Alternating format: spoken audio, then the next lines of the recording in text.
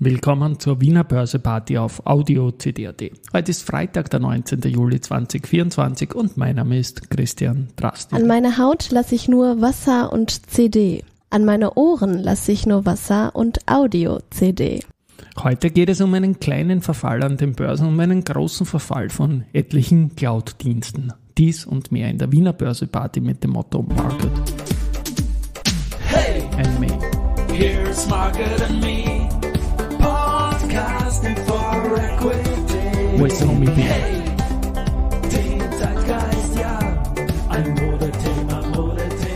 Die Börse als Modethema und die Wiener Börseparty-Folgen im Juli sind präsentiert von Wiener Berger und Radatz, weil sich Börse und Gulasch nicht ausschließen, sondern gut harmonieren.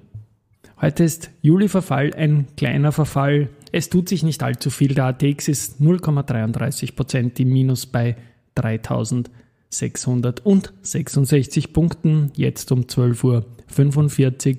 Top-Performer des 39 Titel umfassenden Private Investor Relations Universe sind Polytech mit plus 1,5%, die Semperit mit plus 1,3% und die Adico Bank mit plus 0,7%. Die Umsätze sind gestern etwas angezogen, 235 Millionen Euro waren es. Das war der höchste Wert seit acht Tagen und ja, heute Verfall könnte noch einmal eine Spur höher sein. Aber natürlich, wir sind im Sommer.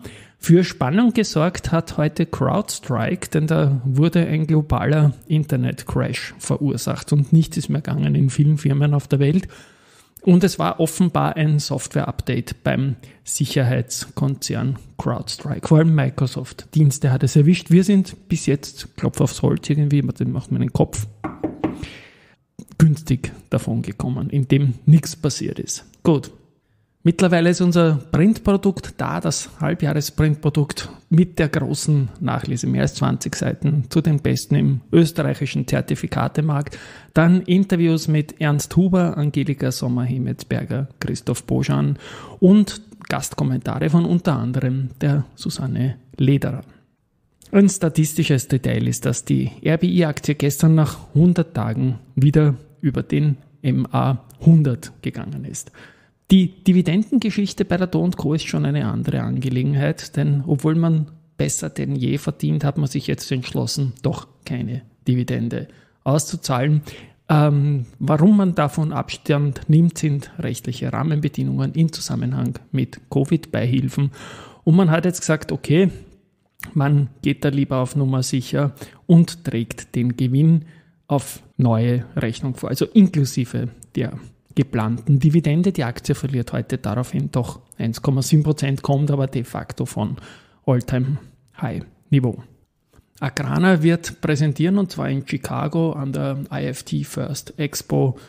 Da geht es unter anderem auch um den veganen Markt. Da ist man mit der Tochter Maroccan Organic International aus Santa Cruz in Kalifornien unterwegs. Da geht es um Kartoffelfasern, Maisstärken und Weizenproteine für vegane Fleischersatzprodukte.